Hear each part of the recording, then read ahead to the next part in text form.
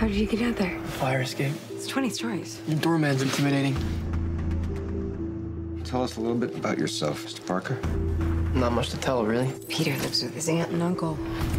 Did you catch that spider guy yet? No, but we will. This guy wears a mask like an outlaw. I think he's trying to do something maybe the police can't. Can't? you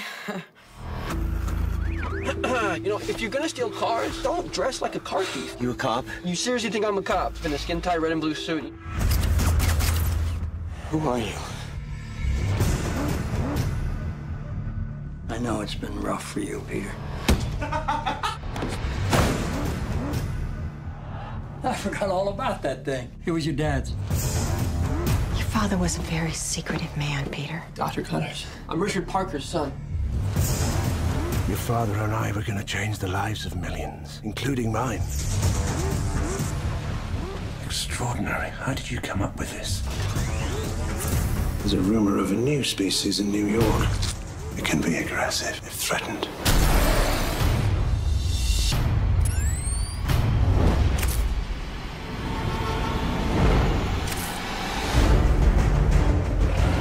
I gotta stop him, because I created him. That's not your job. Maybe it is.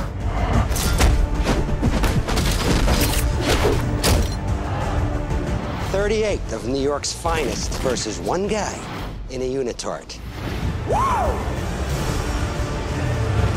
If you want the truth, Peter, come and get it.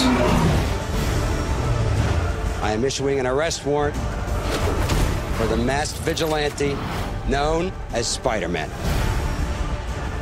I'm in trouble.